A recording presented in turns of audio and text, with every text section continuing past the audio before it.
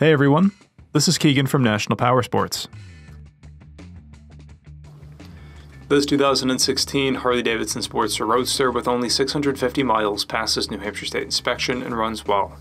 It's been upgraded with a Knight Rider O2 sensor eliminator, Vance & Hines exhaust, and a backrest.